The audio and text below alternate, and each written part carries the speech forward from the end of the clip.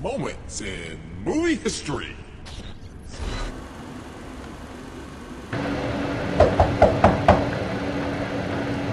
I'll go get it.